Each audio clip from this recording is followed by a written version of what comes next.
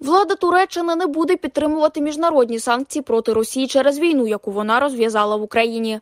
Анкара вважає за краще залишитися на стороні дипломатії. Міністр енергетики та природних ресурсів Фатіх Донмес відповів на запитання, чи приєднається Туреччина до газових санкцій проти Росії.